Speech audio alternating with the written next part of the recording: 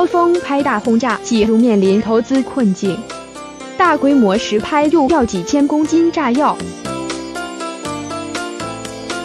萧峰拍大轰炸记录面临投资困境，大规模实拍又要几千公斤炸药。大轰炸主创在发布会现场分享拍摄心得，片方工图。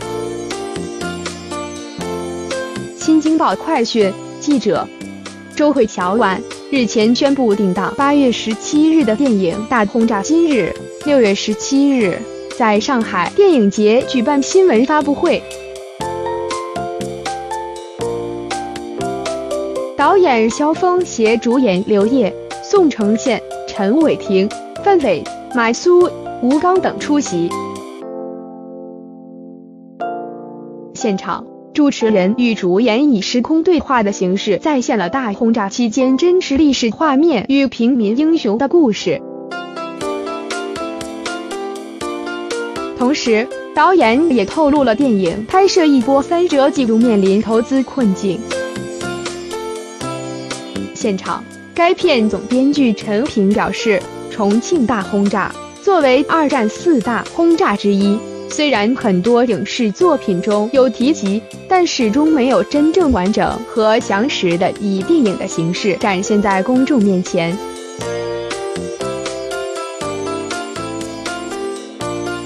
电影《大轰炸》则是首部以重庆大轰炸为主线拍摄的电影。也是一部完全以小人物视角讲述这段历史，在长达六年零十个月的轰炸中，他们用烟火气的日常生活践行着中华民族不屈不挠的民族精神以及特有的乐观与坚强。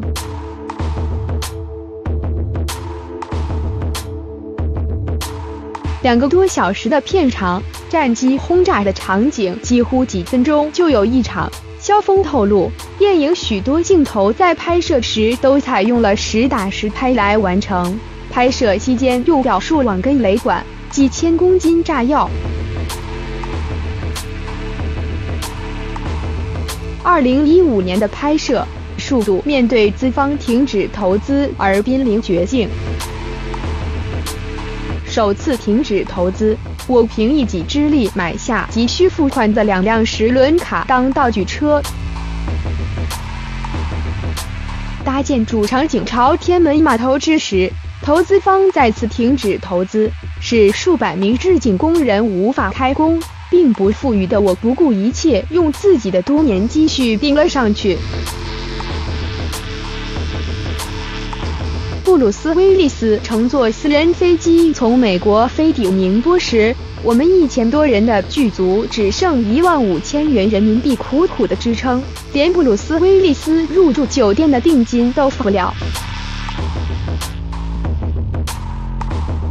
导演肖峰表示，自二零一六年二月起，剧组就已无分文，断粮停炊。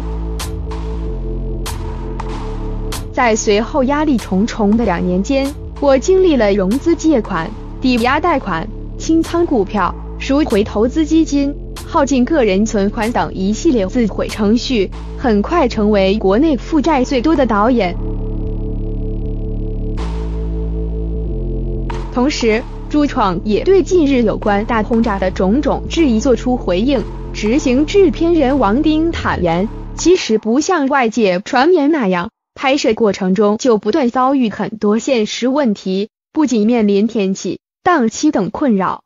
由于剧组拍摄资金时常不能按期到位，我们常常面临无米之炊的困境。